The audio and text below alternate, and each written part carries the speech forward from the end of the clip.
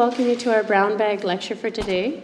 Um, I have the honor of introducing Don Gayton. Uh, he is a local for, uh, forest ecologist, grassland ecologist. He lives in Summerland. Uh, and uh, he's going to talk to us today about the role of fire in forest ecology.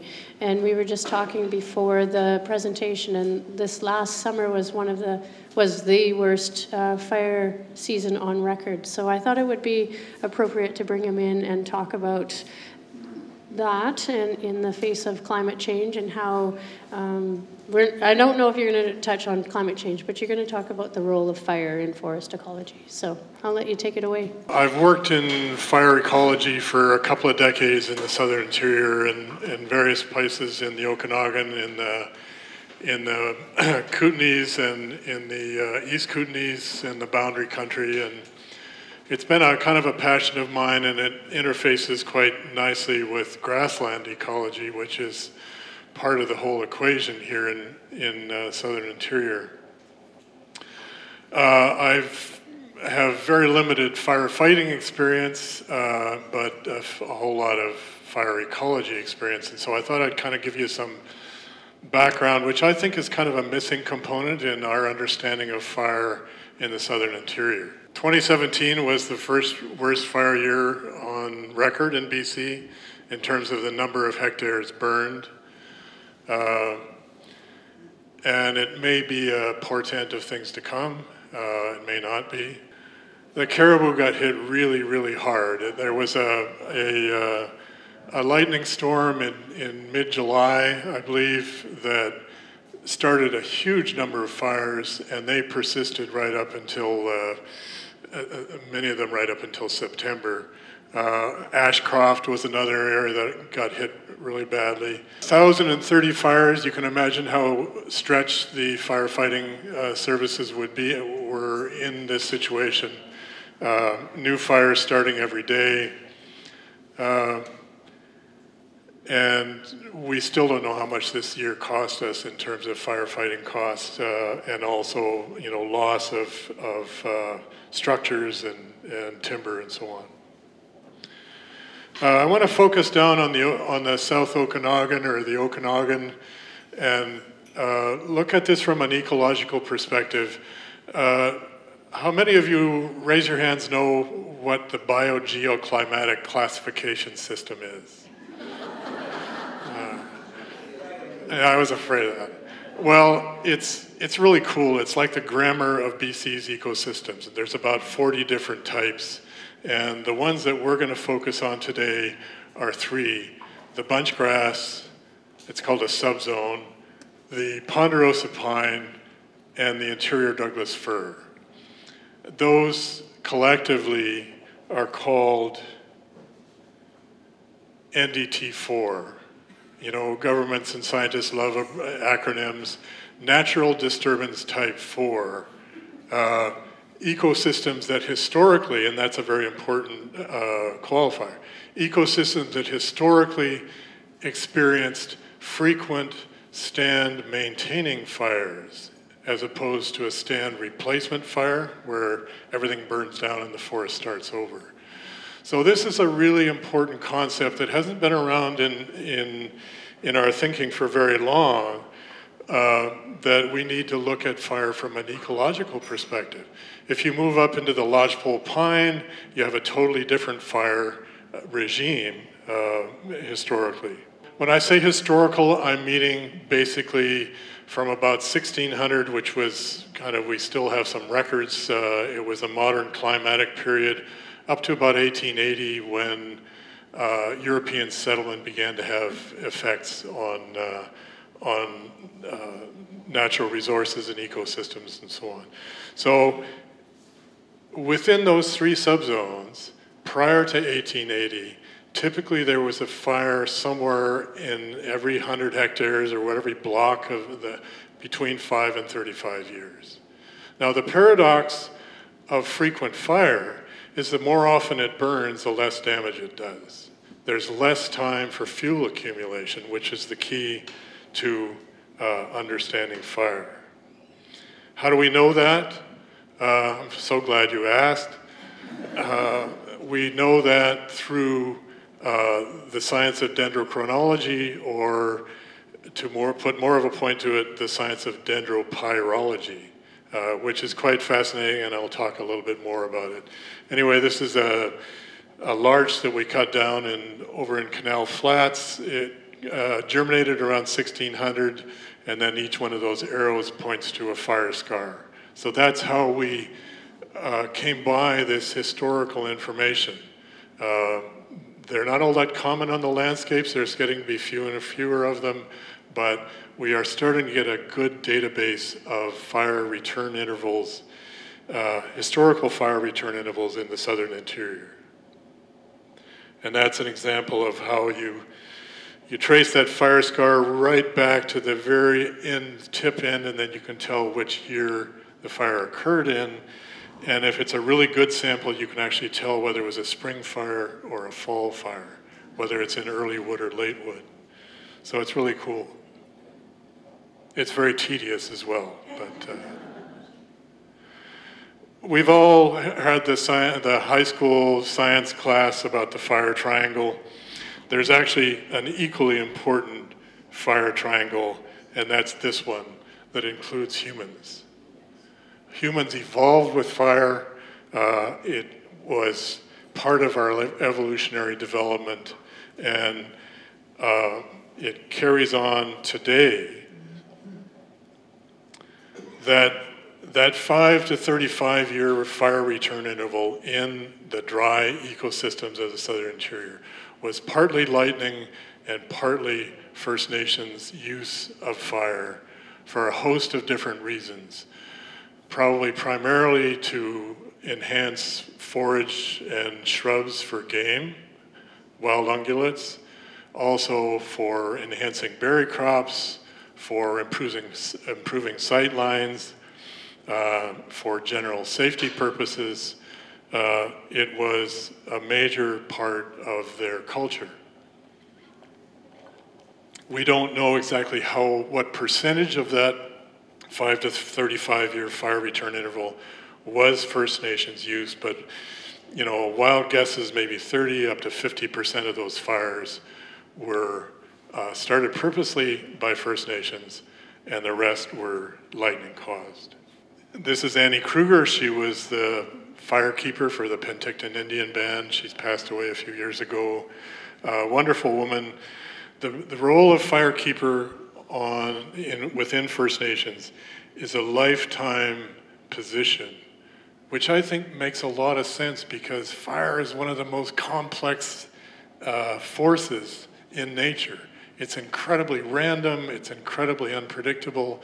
It takes a lifetime to understand how fire works. This is what I refer to uh, that problematic gap in terms of fuel accumulation and fuel breakdown. If you're on the coast, you know, in Vancouver Island or in the north coast, lots of fuel is produced, but it breaks down right away because it's humid, it's, it's wet, the bugs get at the, the wood right away and it becomes humus, which is basically unburnable. Here, fuels kind of fossilize. It takes decades and decades for fuels to break down and become non-flammable. And when I say fuels, this is what I'm talking about. Standing trees, fallen needles, bark, branches, uh, and fallen trees, as well as the uh, dead grass, dead shrubs, and so on. So this is why Fire is such a critical component in these dry ecosystems that the more often it burns, the less damage you do. We can, we can adjust that equation a little bit through logging and, and various things, but fire is, is the predominant um, driver. Here's a couple of shots of kind of classical ecosystems that are relics of, of that frequent fire return interval. This is over near uh, Kimberley. Uh, widely spaced mature trees, and the bark on those trees is probably two inches thick, and they're essentially fireproof. There's no limbs down close to the ground, so if a fire does come through on the, a ground-oriented fire, doesn't have a chance to get up into the canopy. Uh, there's lots of sunlight hitting the ground, so you've got good forage underneath for wild ungulates, uh, shrubs, and so on. There's a lot of diversity there. Uh, here's another one that's close to home, uh, actually um, on the way up to, uh, let's say, on the way up towards the, the observatory, uh, and you're winding up that steep hill off of Highway 97. This is off to your left on that, on that hillside. And again, you can see uh, big, mature, essentially fireproof veteran trees, very few uh, juveniles, very few juveniles because, like I say, if a, if a fire goes through and, a, and the seedlings are up to, say, three or four meters tall, they get taken out right away.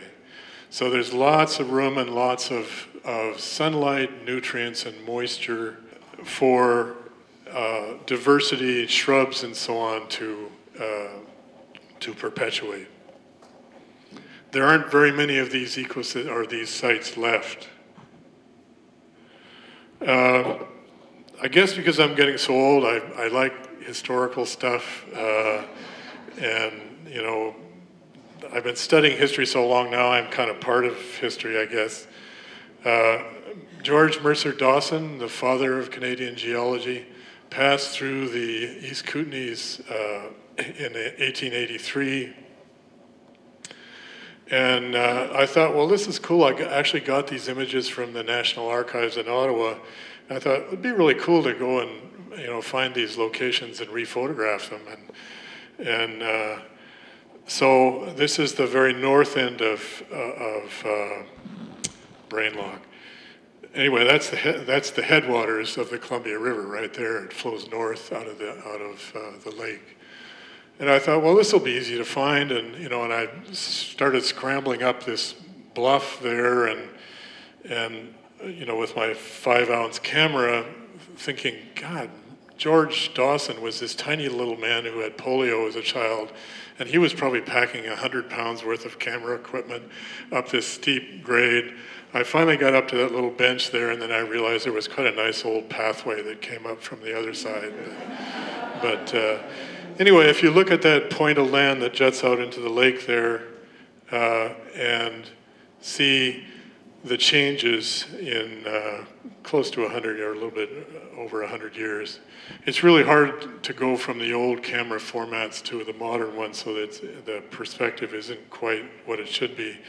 But you can see it's gone from, uh, you know, a mosaic of grassland, closed forest, open forest, and there's plenty of evidence if you look closely of, of uh, burnt trees and stumps. Now it's essentially all closed forest. There's Banff in 1902. There's the Banff town site uh, on the lower left. Moving forward to 1996, look at the hill, the change on the hillside or the mountainside. So it's no wonder that the elk hang out in downtown Banff because there was no forage up there uh, for them. Uh, this one's closer to home, uh, White Lake, 1895, and I remember uh, being out there uh, with a colleague of mine wandering around the White Lake Basin trying to figure out where this photograph was taken, and and I was asking this fellow who was familiar with the area. I said, "Where do you suppose this was taken?" And he said, "Well, Don, if you look at that bluff right there." Uh, so yeah, it's embarrassing sometimes, but if you look at the the hillside between the bluff and the sagebrush, uh, even in that bone dry, semi desert ecosystem, there is what we call forest ingrowth as a result of fire suppression. The Americans have done a huge amount of this kind of historical fire ecology work, and they've dug up uh, any number of photographs this is a fairly similar ecosystem to what we're dealing with. It's a, it's a little higher, but then again, you're farther south, so it's a drier, uh, warmer ecosystem. You can see, and that's actually the same photo point, uh, 19, 09 and 1989, the tremendous change in uh, over time. Uh, this is, looks quite scary, but uh, these are, uh, this is a, a project that Lori Daniels and Alexander Pogue just finished on the west side of Vaseux Lake. Uh, that strip kind of runs from the north end to the south end of the lake. And each one of those uh, horizontal bars represents an individual fire scar tree, and each little uh, vertical tick represents a fire scar. So, and then you have the, the years across the bottom. So I want you to look up at the very top where uh, Daniels and Pogue have broken this up into uh, four different eras. The traditional um, pre-contact First Nations involvement, the colonial period when, when Europeans first arrived, the railway period when you know the railway went right along uh, the uh, west side of Vaseux Lake, and the modern period.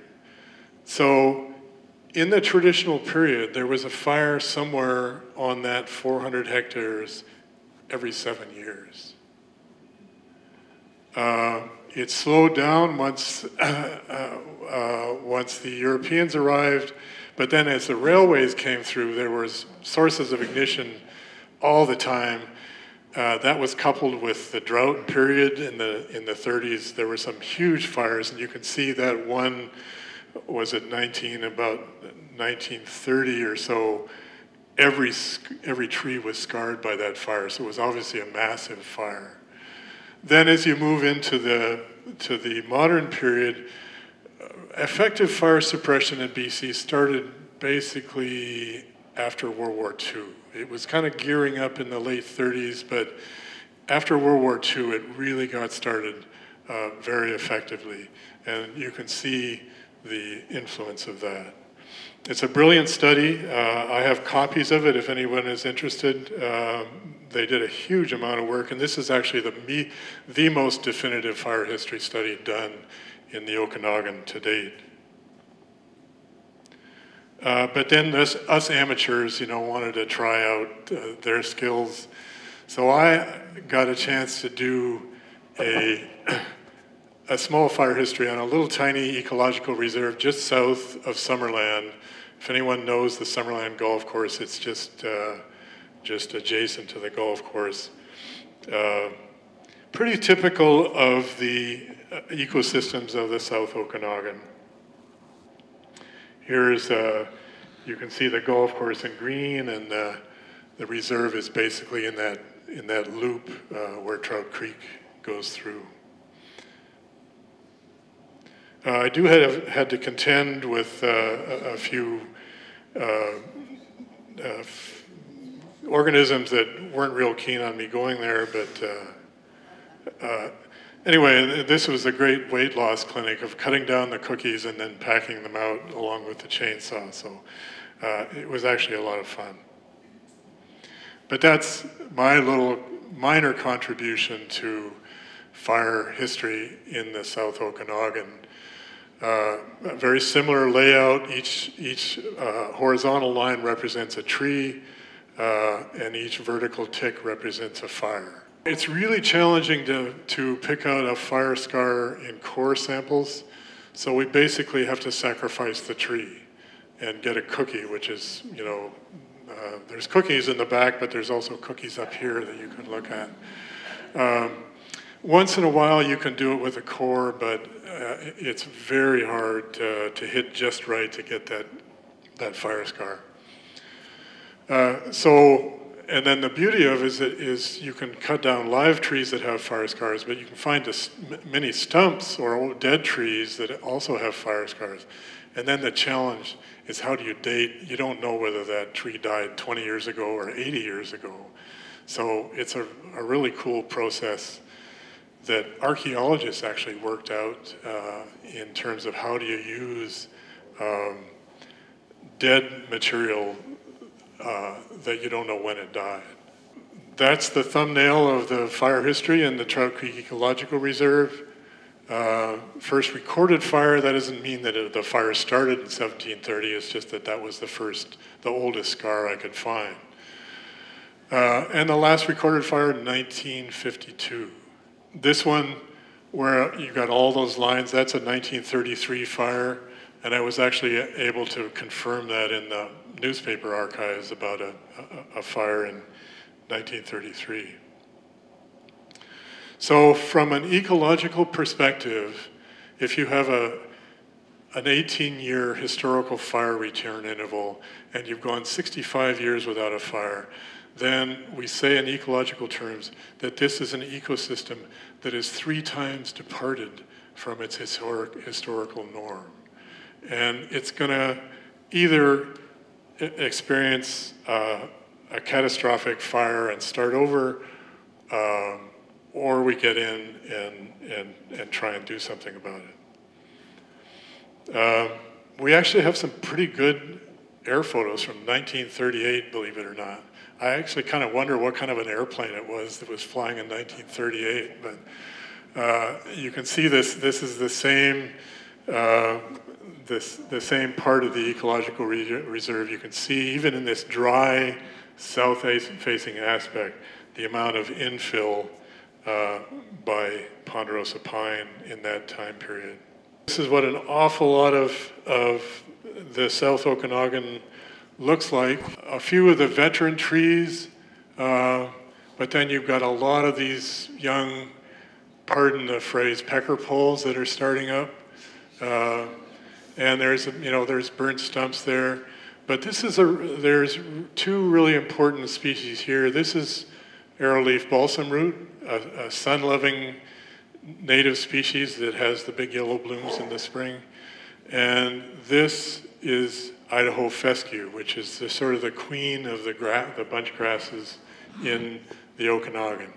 Both of these species are sun-loving species, and they will drop out over time because there's too much competition developing for sunlight, for moisture, for nutrients. You also see, you know, there's plenty of pine cones and needles on the ground, and so this, this former grassland ecosystem is shifting to a forest, and the soils will, becoming, will become cooler, uh, they'll become more acid, more conducive to uh, more of these juveniles starting up, um, and so this ecosystem is kind of on a hinge point route now. It's either going to go one way or the other. And this is a classic that you've probably seen, a beautiful vet that's probably 200 years old. Uh, a huge amount of duff accumulated. If a fire gets in here, even a light fire, it'll get into that duff, and the roots of the tree have grown into the duff, and so it will parboil the roots, even if it doesn't consume the tree. And you know, that fall or the next spring, the tree will die.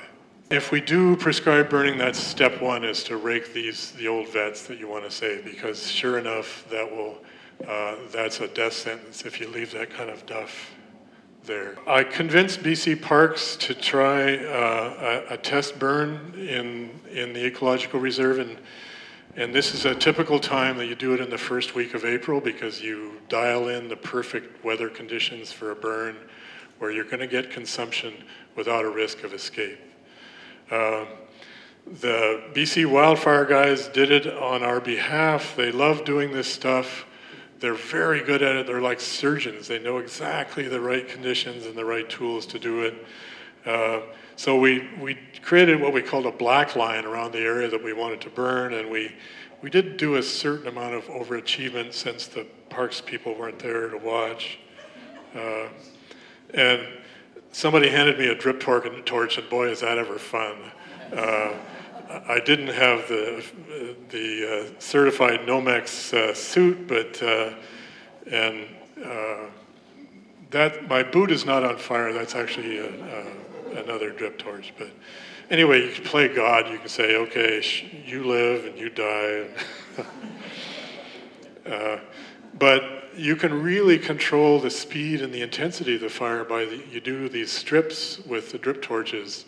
And if you want things to go slowly, you widen the strips and or, or shorten the strips, and then they, they burn together and, and, and the fire goes out and then you start the next one. And uh, it's a fascinating technology. Uh, I was kind of worried about what's it going to do to my beloved bunch grasses. And so I marked this bunch grass right here as a mature blue bunch wheatgrass, uh, April 3rd. Came back in May and it's doing fine. And in fact, you can see here's the edge of the black line that we, and you can see the arrowleaf balsam root said, thank you very much for that little burn. Uh, this has kind of been our approach to uh, fire suppression in BC. Uh, and, uh, you know, I'm not dissing the firefighters. They do an incredible job, and these guys are full on board in terms of doing prescribed burning they very rarely get the chance uh, for a whole host of reasons which we can talk about. Uh, even in spite of uh, active fire suppression, this is a map from IMAP BC, which is a fascinating uh, uh, publicly available site. These are all the fires that have been mapped since about 1935 when they the, the, wildfire guys are really anal. They just collect data. They love data. So uh, there's the Okanagan Mountain Park fire. Uh, the, there are no dates on these, but and that's the Finlay Creek fire from last summer right there. Uh, there was a West Bench fire that might be one of these, I'm not sure. Uh, this was probably the Carmi fire. Uh, anyway, it's all there, and you can see how, in spite of our best attempts, we still have forest fires. Uh, some of my colleagues and I, we vie for the, the, the horror shot. Uh, so this is like, this is like having five inches of gasoline on the forest floor. This is, you know, there's 90% of it is dead. There's no biological activity in there. And it's just a, it's a Holocaust fire waiting to happen. Fortunately, that's over in the East Kootenay, so we don't need to worry about those guys. Uh, and then I'm sure, like a lot of you, I read, you know, the Smokey the Bear comics as a kid, eating my Cheerios in the morning. And I bought into this just hook, line, and sinker. You know, Bambi's mother was killed by forest fires. And, and it's actually one of the, it's a mythology. It's like a creation myth. It's not true. Surely, in every big, very intense forest fire, a few animals are killed. But the the uh, positive results, particularly for wild ungulates, deer, elk, sheep, goats, and so on, is hugely positive in terms of uh, nutritious forage. Here's a classic shot from down in Montana, a really extreme fire. The two elk are saying, ah, I think we'll just camp out in the creek here for a while. And then the same site, uh, I think it was two years later, it, it's a paradise for elk forage. This was an uh, interesting example, which I think uh, we should take to heart. Uh, Tyee fire down near Wenatchee. Um, prior to this fire, the, the, uh, one of the crews had gone in and created this fire break here by not eliminating all the trees, but thinning them uh, and hauling out debris. I'm not sure if they did a prescribed burn in here, but anyway, so the, the fire came through. It was a, you know an August fire, just the worst possible conditions. Uh, 100% mortality hit the fire break, became a ground fire, passed over it, went back outside of the fire break, 100% mortality again. So it shows the power of fuel manipulation and the, the, uh, you know, not only in, in, in, slowing fires down, but giving the firefighters a, an opportunity to control it. I'm sort of moving into solutions now, and basically the solutions for fuel manipulation are uh, thinning and burning, uh, either alone or in combination. Uh, so that's what was done here. This is the stand originally, uh, same that south of Missoula there. Uh, two years later, after they thinned and burned, uh, 2005, And I'm sorry for the poor focus, but here you can see there's shrubs starting to develop. Uh, these trees that are remaining have a chance to grow and develop. Uh, so there are definite ecological benefits to doing um, prescribed burning as well as safety benefits. And we all remember uh, the firestorm from Kelowna.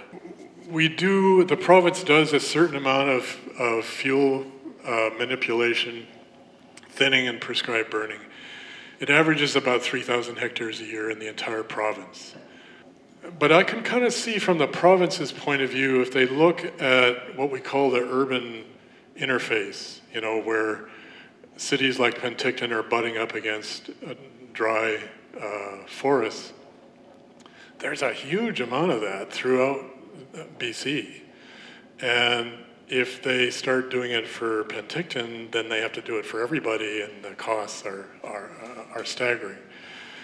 So it's an issue, I think it's not a technical issue, it's not a scientific issue. It's a social issue that we need to think about. You know, we relied so long on Smokey the Bear of saying, look, we've got the wildfire service, they have the technology, the equipment, they'll deal with this. We don't have to worry about forest fires, it's their problem. Actually, it's a social problem that we need to think about and you know, the two options are uh, just do crisis management, uh, which is kind of what we do right now. Uh, put the fires out as they come, have these blowout years where we basically bankrupt uh, ourselves by firefighting. Or we go proactive and start doing some of this uh, fuel reduction, fuel modification in the urban interface areas it's a huge challenge, and I'm, I'm saying, I don't have any quick answers, but, but this is kind of where we're at. And um, I think the result after 2003, which was another blowout year, a few programs were started to deal with this. They kind of ramped down after three or four years. Uh, we will likely get the same this time around. Uh, there'll be a little bit of funding for doing things, but then it'll kind of peter out and, and we go back to business as usual. My analogy is that uh, it's always easy to get money to, for emergency rooms, but it's hard to get money for prenatal care.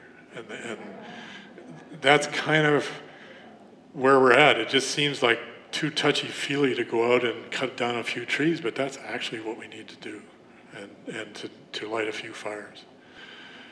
You know, probably the, the, the species that are most at, at risk are ground nesting birds, depending on the, on the time of year of the fire. But, um, you know, elk and deer have lived with fire since the end of the ice age. They're, they're, they're, keen, they're kind of twigged onto it. They can smell it before we can. They can sense it. Uh, you know, I mean, every year you hear about, you know, there's a, a, a, dead bear or a dead elk or something like that. But by and large, they are able to escape the fire. And then the benefits, two or three or four years after the fire, are hugely significant, particularly for the wild ungulates. And there, the other issue here in terms of biodiversity, if you take a hectare of grassland like up in the, the Trout Creek Ecological Reserve. It has far higher biodiversity than the same hectare of closed forest. So you're losing biodiversity as you allow this ingrowth to happen, and you're also losing species at risk too that, that tend to make use of, of the grasslands and also the interface between the forest and the grasslands because, you know, for any species, that's the ideal place to be is the interface because you can use the resources of both. Uh, our forests are moving downslope and uh, slowly eliminating those grasslands. Grasslands are the uh, Rodney Dangerfields of the ecosystems. They get no respect. So, uh, uh, but you know, I, I, have to be realistic. That's not going to change. Uh, soon. So, we have created hundreds of thousands of hectares of even-aged lodgepole pine throughout the central interior. Uh, and lodgepole is one of those trees that it's, uh, it's designed to burn. And any lodgepole that's over 100 years old is, is living on borrowed time. Either a fire is going to get it or the bugs will get it. Um, and in our forest management practices, we've created these huge swaths of even-aged lodgepole pine that are susceptible to wildfires and beetle infestations. You know, I think we've woken up to the fact that, gee, this was a pretty big mistake, but it's going to take a lot to undo it. Nature loves a mosaic. And we kind of like, you know, these uniform blocks of, of uh, so it's a challenge. Replanting less um, volatile plants uh, afterwards. There's been talk about uh, in that urban interface, you know, the band just above the suburbs and so on, of planting more broadleaf trees, you know, aspen and so on, which are not nearly as flammable as as the conifers. But that is expensive. In some cases, it doesn't work. Um, I, I, think probably the single biggest thing you can do is just reduce the stocking rate. You know, a lot of these areas have got several thousand trees per hectare, and historically they only had a couple hundred. That's the big difference. Uh,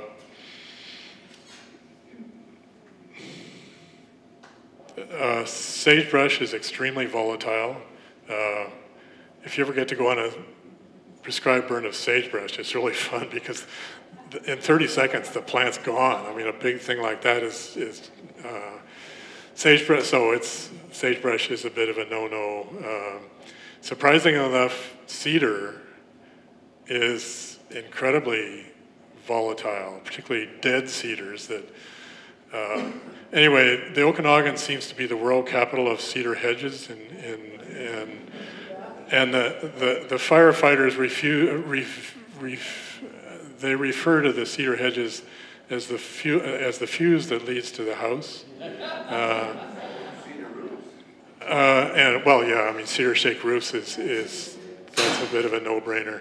Um, you know, we're not going to get rid of cedar hedges, but like in Summerland where I live, when they started imposing, you know, the higher water fees and so on, a lot of there's a lot of dead cedar trees that are still there from like three years ago. And I'm thinking, come on, you guys, they're not only butt ugly, they're a huge fire. Uh, so things like yews are just as effective as cedars in terms of creating a green fence. They're not as uh, volatile as, as cedar.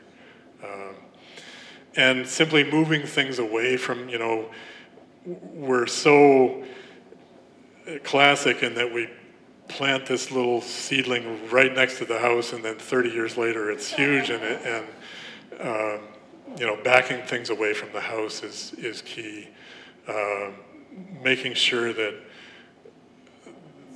you know, wood piles and wooden decks and so on have some sort of security uh, and there, there's that whole fire, um, fire smart stuff, which is it's kind of no brain stuff, but the bigger issue is what's happening, uh, you know, up on the hillsides. Okay, well, I think we're uh, we're done, and I appreciate your attention.